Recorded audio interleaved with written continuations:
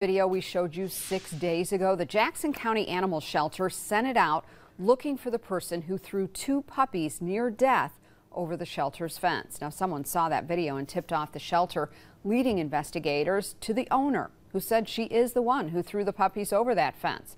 The little ones have been at the shelter ever since, and we've learned they are healthy enough for foster care today, and they are staying together.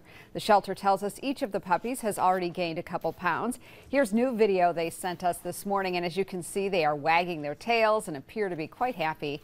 The male and female husky puppies are six months old. The shelter tells us if they continue to improve as they have over the past week, they should be up for adoption in one or two weeks. No word tonight on any charges against the owner. The wheels first started in motion to bring a